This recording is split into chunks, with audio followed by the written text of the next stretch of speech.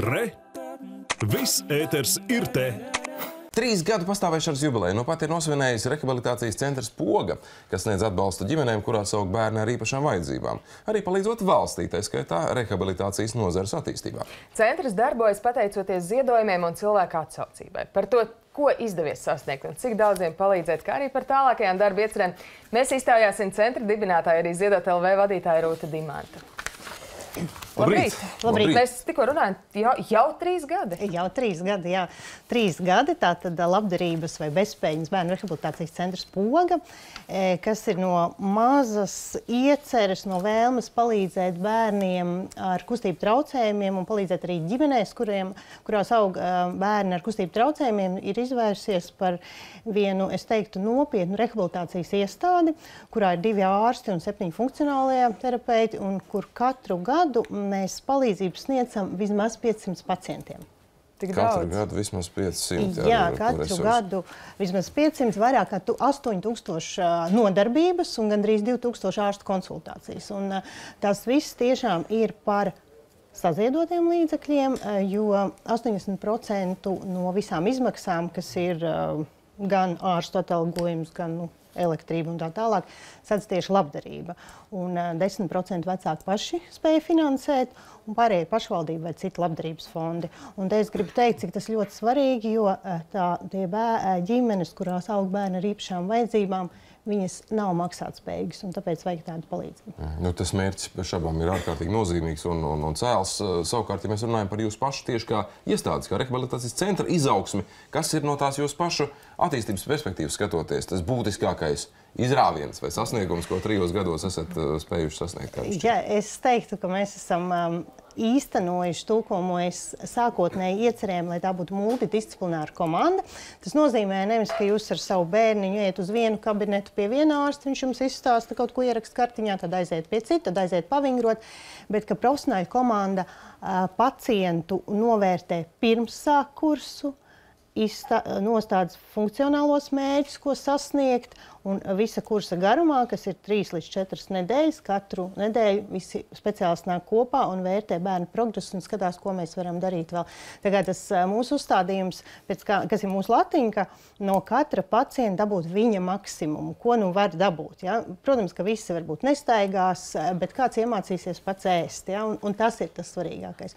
Nu, ko vēl mēs esam sapratuši trīs gadu laikā, ka labklājības un veselības jomas ir tik tuvas, bet, diemžēl, valstī veselības un labklājības ministrija parasti ir dažādu partiju pāraudzībā un darbojas nevienmēr saskaņot. Par to, starp citu, arī valsts kontrole nesen runāja, kā reiz tieši arī par šo, par šo rehabilitāciju, runājot par to, ka valstī arī pietrūkst tāda strateģiska redzējuma un politikas, kā to visu īstenot, par to, ka daudz efektīvāk iespējams varētu sadarboties, pārdalot vai nu, citādāk šo dalījumu uztaisīt.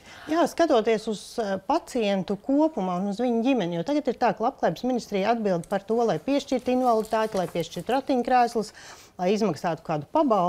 Savukārt eh, veselības ministrija par tiešo ārstniecību un rehabilitāciju. Un ja šīs divas funkcijas vai iestādes nesatiekās, tad nu, ir tā, ka bērniem līdz 18 gadiem veselība ir bezmaksas veselības aprūpe uz papīra, bet faktiski mēs redzam, ka mūsu pacienti nevar saņemt valsts apmaksātu rehabilitāciju tajā apjomā, kas ir vajadzīga, lai eh, mums kā sabiedrībai un arī vecākiem, kurš šis bērniņš eh, ģimenē ir ienācis, nākotnē bērns būtu pēc iespējas patstāvīgāks un pēc iespējas ar mazāk izmaksām. Un mazāk izmaksām arī no zāļu viedokļa. Nu, tā ir tāda, tā, tas, ko mēs darām, nav tikai humāns darbs. Mums, mēs tiešām iestājāmies pirms šiem bērniem, mums viņi rūp, bet tas nav tikai tāds humāns darbs, tas ir tāds ilgtermiņa un mērķiecīgs darbs, kas palīdz visai sabiedrībai. Bet jūs esat runājis ar politiķiem par šo lietu?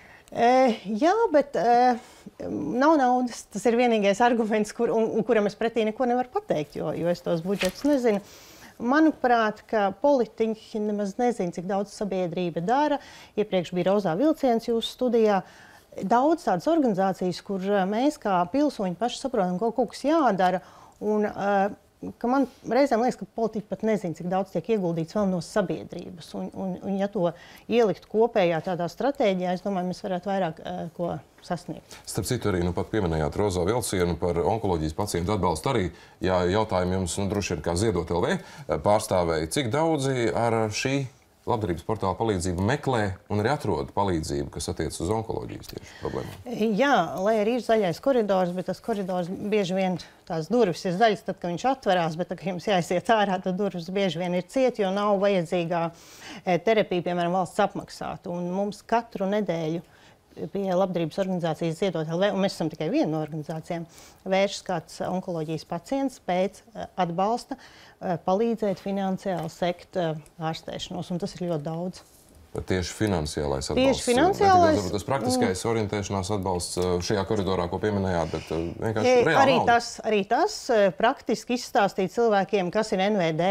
Es piemēram, jūs zinat varbūt to trīs burtu kombināciju, kas ir Nacionālais veselības dienas, bet profesionāļu žargonā vienkārši aiziet uz NVD, un tad cilvēks ilgi meklē lapiņā un skatās, ka viņam uzrakstīja trīs burti NVD un kas tas ir. Ja? Jo, jo tajā brīdī, kad cilvēks ir e, saslims, viņš ir ļoti ievainojams un viņam ir maz resursu pašam tik galā. Arī mēs konsultējam, protams, tā. Skaidrs, ka e, valsts nekad nevarēs nofinansēt visu no ārstniecības viedokļa, jo e, farmācijas izmaksas ir vienkārši apbrīnojamas, e, nesaprotamas, nesaprotama augsta, bet tomēr piešķirt, piemēram, 14,000 eiro līdzfinansējumu, prasīt, lai pacients pats savāc 70,000 no savu maciņu, lai, lai nopirktu zāles, nu, manuprāt, tas ir amorāli. Nu, skaidrs, ka vēl ļoti, ļoti daudz kas ir darāms un ļoti daudz kas ir sakārtojams. Mm -hmm. Vēlreiz tātad sveicam uh, rehabilitācijas centra poga trīs gadu jubileju. Kas ir tas nākamais uh, solīts, ko gribat darīt? Uh, mēs... Apņemšanās uz ceturto gadu. Jā. Apņemšanās uz ceturto. Uh, mums ir tāds laba, labs sauklis, ka palīdz pogai izaugt. Mēs gribam izaugt lielāki un palīdziet vēl vairāk bērniem.